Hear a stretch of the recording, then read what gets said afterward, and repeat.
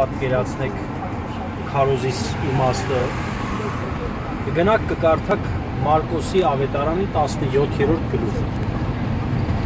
Սա ավետն են գալիս ասում են, հա, կկարդանք, իհարկե։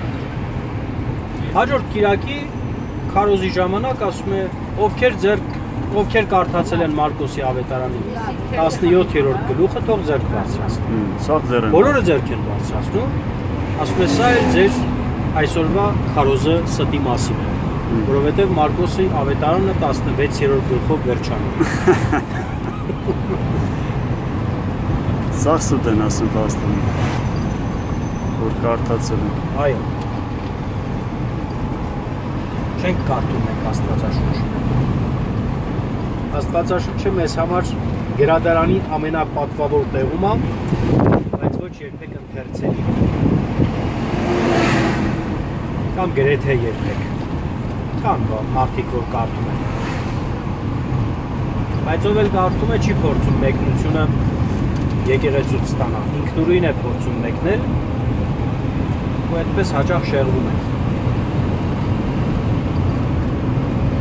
Որովհետև շատ դեպքերում պիտի ուղիղ իմաստով հասկանաս, փոխաբերական ես հասկանում, փոխաբերական պիտի հասկանաս, ուղիղ ես հասկանում թաքնված շատ հատվածներ կան։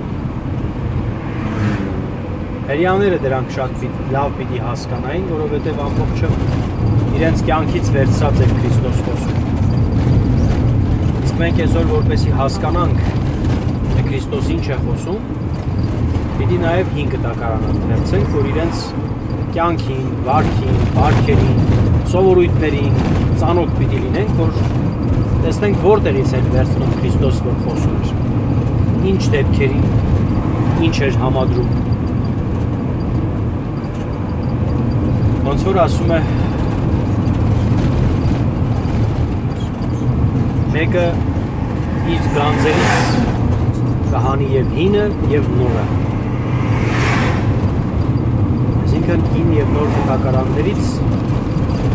գանձեր կհանի այս որտեսի հանենք այդ գանձերը պիտի սովորենք պիտի կարդանք չենք կարդում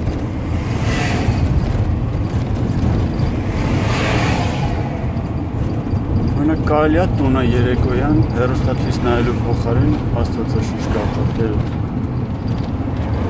Ոչ միայն կարելի է։ Ցանկալի է եւ դեռ մի բան էլ ավելի։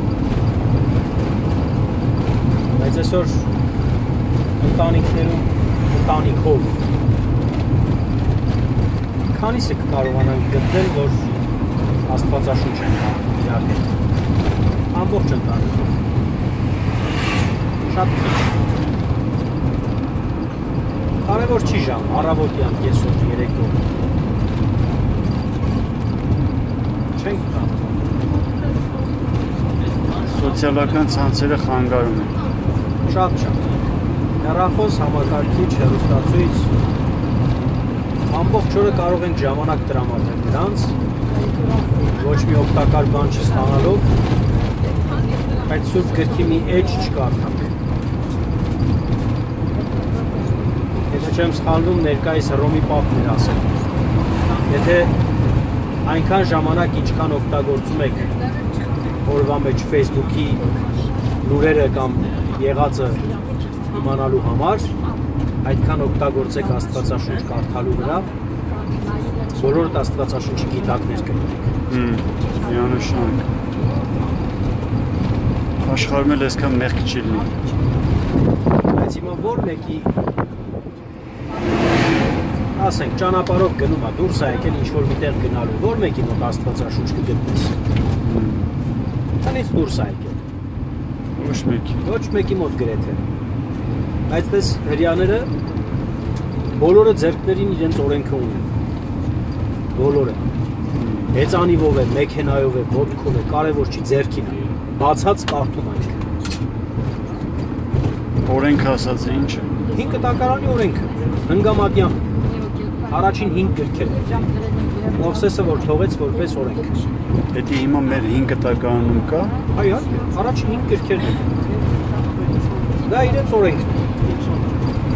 Երեխան սկսեց գրել, կարդալ, սովորել, խոսել։ Դա ձերքնան ինչև մահ։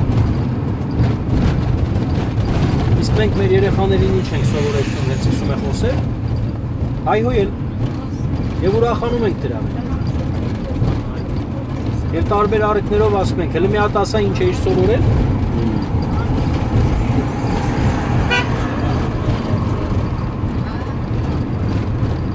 Հիմա սա անմիտ որդի չի,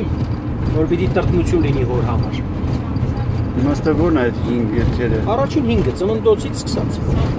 Ծննդոցը առաջին ու մինչև 5-րդը։ Ելք, ղևտական թվեր, երկրորդ օրենք։ Առաջին 5 գրքերը օրենքն են։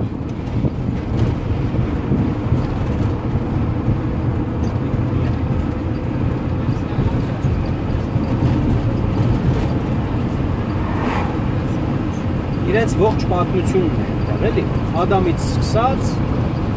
Աբրահամ, Իսահակ, Հակոբ, հետո Մովսեսը, որ արդեն հանեց Եգիպտոսի ստրկությունից, քահանայության հաստատում, օրենքների հաստատում։